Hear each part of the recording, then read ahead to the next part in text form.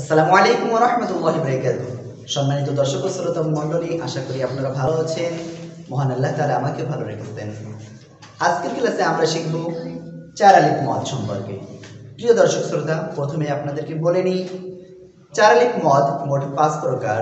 প্রথমটা হলো মাদ্দে লাজিম হারফি মুখাফফাফ মাদ্দে লাজিম হারফি মুসাক্কাল। মাদ্দে লাজিম কালমি মুখাফফাফ মাদ্দে লাজিম, কালমি মুসাক্কাল, মাদ্দে মুত্তাসিল। আপনারা এইগুলি, অর্থাৎ এই যে পাঁচ প্রকার, এই পাঁচ প্রকার অবশ্যই মুখস্থ করবেন ইনশাআল্লাহ।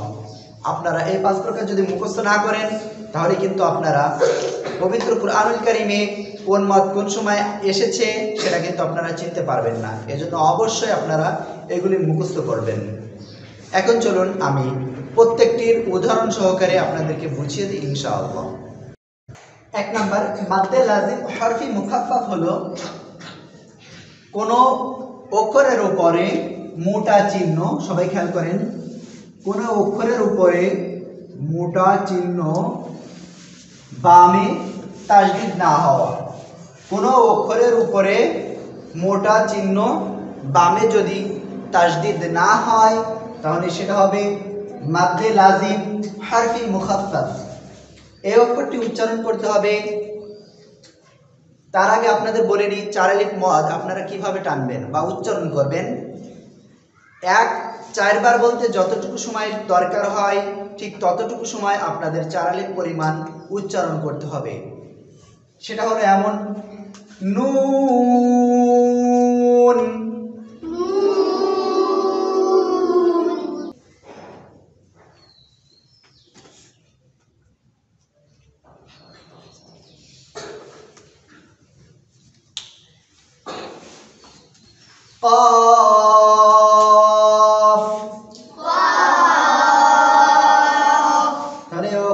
উপরে যদি এভাবে মোটা চিহ্ন আর বামে যদি তাসদিদ না হয়, তাহলে সেটা হবে মাদ্দে লাজিম হারফি মুখাফফাফ বুঝতে পেরেছেন আপনারা?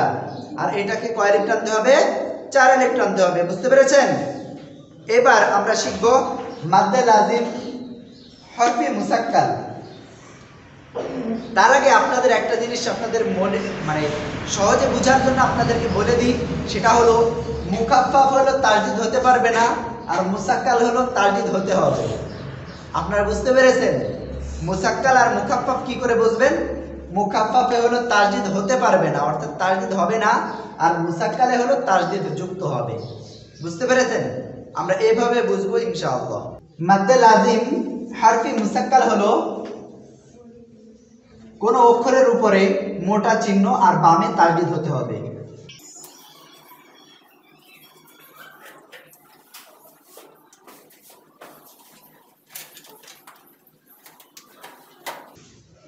সবাই এই উদাহরণের দিকে একটু খেয়াল করুন। খেয়াল করেন, এখানে দেখতে পাচ্ছেন যে লামের উপরে মোটা চিহ্ন, এপারে মিম, মিমের উপরেও মোটা চিহ্ন।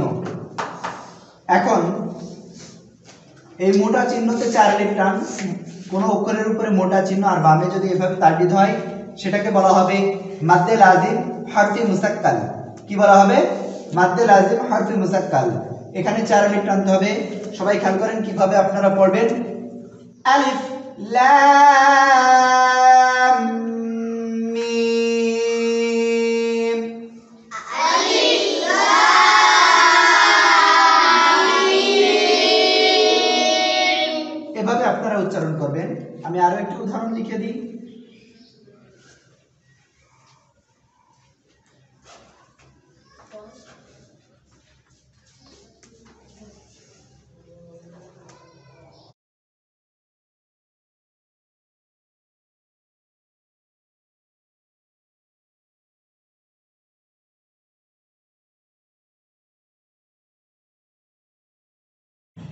ক?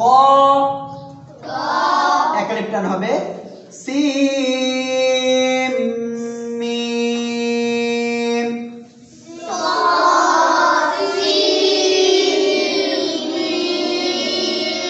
এভাবে চার লিপ টানতে হবে। এখন আমরা শিখব তিন নাম্বার মাদ্দে লাজিম কালমি মুখাফফাফ মাদ্দে লাজিম কালমি মুখাফফাফ হলো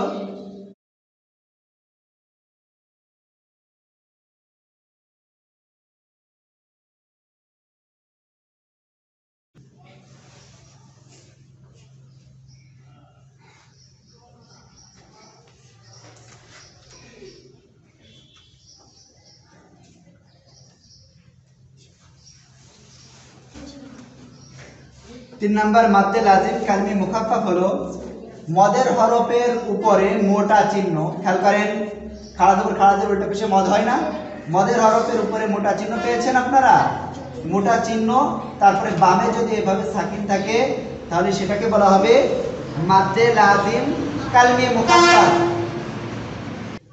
মাদ্দে লাজিম কালমি মুখাফাফ হলো মদের হরফের উপরে মোটা চিহ্ন, বামে যদি সাকিন হয় বা জজম হয়, তাহলে সেটাকে বলা হবে মাদ্দে লাজিম কালমি মুখাফাফ এখানে চার আলিফ টানতে হবে। আল আনা। এ জায়গায় আপনারা একটু খেয়াল করেন, টানতে হবে কিন্তু এ প্রথমে। আল আনা।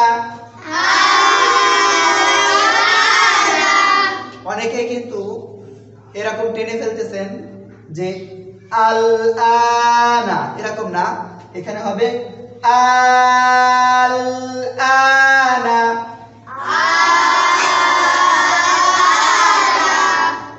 বুঝতে পেরেছেন সবাই? এরপরে আমরা শিখব চার নাম্বার, মাদ্দে লাজিম কালমি মুসাক্কাল। এখন চলুন প্রথমে একটি উদাহরণ লিখে নিই, তারপরে আপনাদের বুঝিয়ে দিচ্ছি।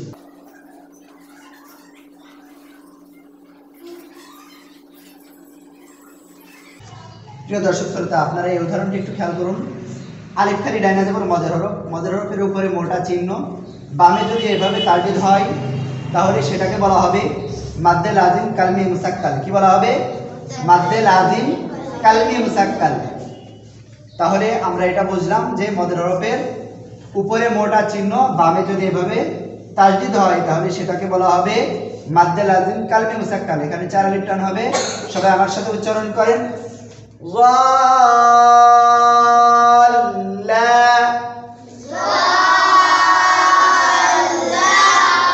বুঝতে পেরেছেন? আরেকবার বলেন। ওকে তারপরে আমি আরও একটি উদাহরণ লিখতে পারি।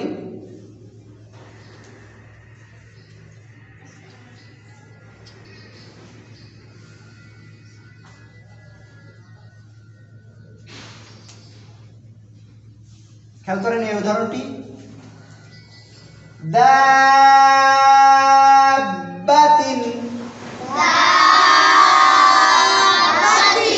এখানে আমরা যদি অফ করি তাহলে বলতে হা হয়ে যাবে তখন উচ্চারণ হতে পারে এমন।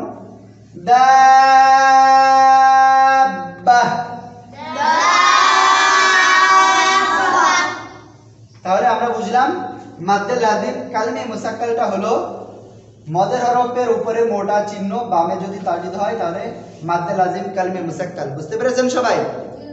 জি তাহলে এখানে মোট চার আলিফ টানতে হবে। উদাহরণ দুটি আবার পড়ি।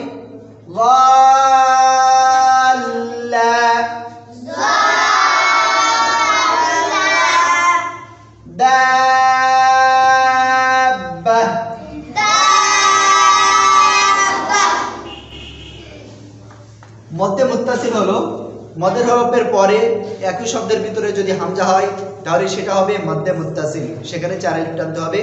আমরা কয়েকটি উদাহরণ লিখি।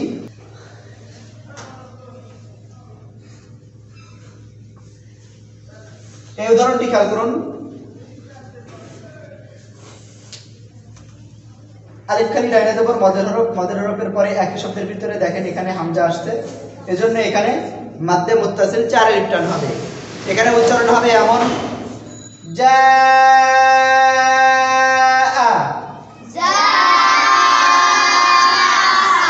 আমরা এখানে যদি অফ করি, তাহলে উচ্চারণ হবে আরেক রকম, সেটা হবে এরকম।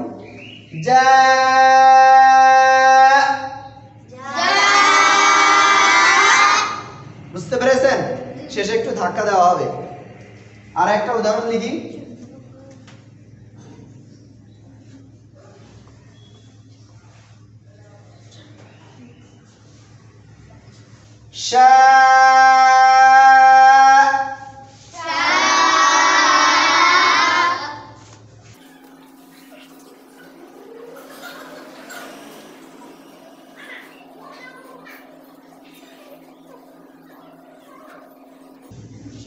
সবাই এই উদাহরণটার দিকে একটু খেয়াল করুন। আলিফ খালি ডাইনে যাবর মদের হরফ মদের হরফের উপরে মোটা চিহ্ন। বামে দেখেন একটা শব্দের ভিতরেই হামজা আসছে। যদি এরকম আসে তাহলে মাধ্যমে চার আলিফ হবে। এখানে উচ্চারণ হবে এমন তাইফা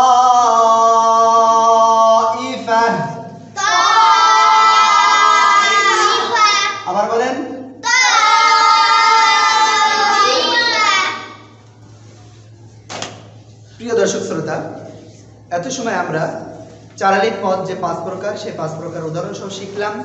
এখন একবারে সংক্ষিপ্তভাবে আপনাদেরকে আরেকবার মুখে বলে দিই। সবাই একটু খেয়াল রাখবেন।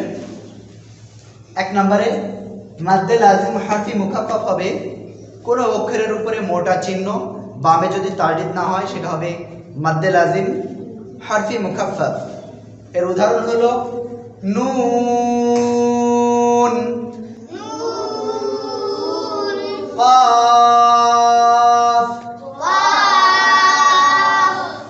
দুই নাম্বার, মাদ্দে লাজিম, হারফি মুসাক্কাল। মাদ্দে লাজিম, হারফি মুসাক্কাল হলো কোনো অক্ষরের উপরে মোটা চিহ্ন বামে যদি তাজিদ হয়, তাহলে সেটা হবে মাদ্দে লাজিম, হারফি মুসাক্কাল। যেমন আলিফ লাম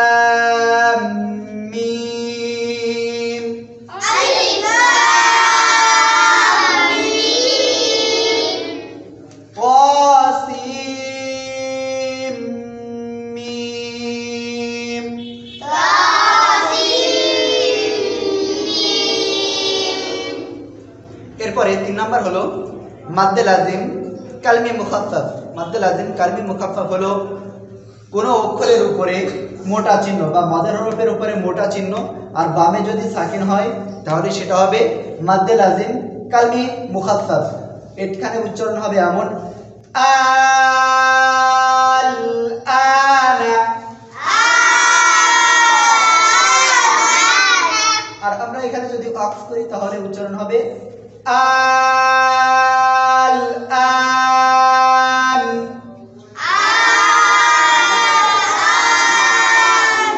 চার নাম্বার হলো মাদ্দে লাজিম কালমি মুসাক্কাল মাদ্দে লাজিম কালমি মুসাক্কাল হলো মদের হরফের উপরে মোটা চিহ্ন আর বামে তালডিত হতে হবে যদি এরকম আসে তাহলে সেটা হবে মাদ্দে লাজিম কালমি মুসাক্কাল ضال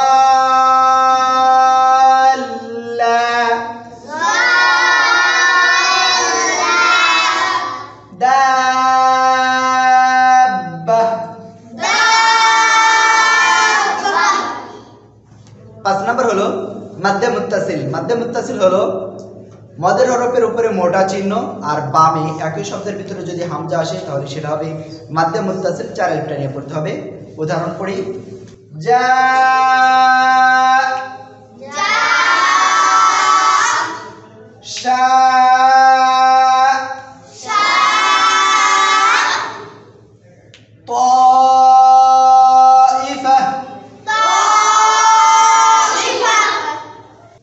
প্রিয় দর্শক শ্রোতা, এত সময় ভিডিওটি দেখার জন্য আপনাদের অসংখ্য ধন্যবাদ। পরবর্তী ভিডিওতে আবার আপনাদের সাথে দেখা হবে। ঠিক তত সময় পর্যন্ত আপনারা নিরাপদে থাকুন, সুস্থ থাকুন, আর বেশি করে পবিত্র কোরআনুল কারীম তেলাওয়াত করার চেষ্টা করুন। আল্লাহ হাফেজ। আসসালামু আলাইকুম রহমতুল্লাহ বারাকাতুহু।